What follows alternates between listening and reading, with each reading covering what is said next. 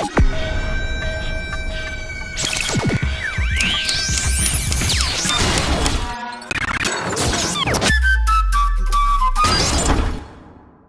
mean, top 25. I mean, you know, it's.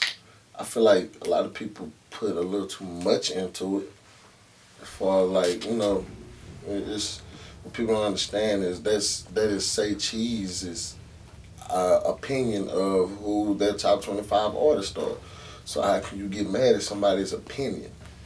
You know, uh, I mean, I really just look at it as like it's an, an enlightenment, you know, because a lot of those artists that was on there, I didn't really even know. But, you know, people go on there and they listen to those people's music and they might become a fan. So it's definitely a beneficial thing to be on that list. But I feel like for the people that ain't on that list, don't act like it's the end of your career. Don't act like your career is going end because you're not on the list.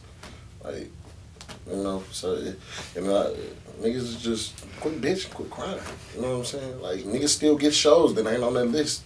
There's a lot of people on that list that ain't on that list that probably gonna get a deal. You know what I'm saying? So, it's, it's not, quit quit making everything seem like it's, it's just got I gotta do this, I gotta do that.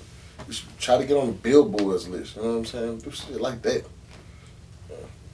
Niggas is gay. niggas is gay to the bitch. Like, you let an out of town nigga come out here, like niggas is looking at it the wrong way.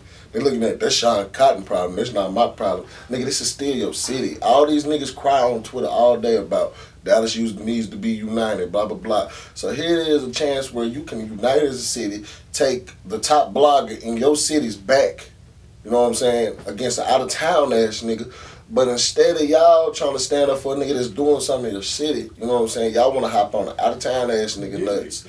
Be up there taking pictures with the nigga, you know what I'm saying, all that kind of gay shit. Y'all niggas is on this nigga's nuts, but a nigga that's really helping a lot of artists in the city, y'all just like, fuck that nigga. That ain't got shit to do with me. This shit's gay than a bitch. But y'all want to talk about unity and putting Dallas on. Why ain't Dallas on? But you got a chance to, you, you know what I'm saying, to take the cities back.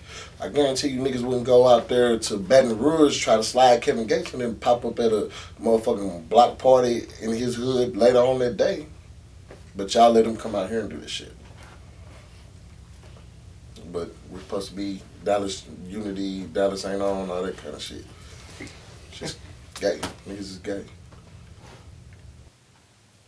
I mean, cause like I, like I was saying, I mean, I go off of how I was raised. You know, I was raised in a house where we were listening to Live Crew, you know what I'm saying, Uncle Luke, that kind of shit. You know, the kind of stuff that makes you get up and move. You know, so sometimes that doesn't you know, sometimes that doesn't that doesn't necessarily require the just the lyrics that's talking about all this subconscious stuff. I don't really listen to that. I go by my criteria when I make music is what I would listen to.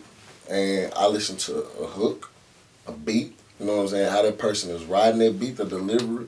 So that's really what I go by when I'm making a song. Be like, can this song get catchy enough to be in people's heads? You know, that's basically what I go off of because that's just the kind of shit that I listen to.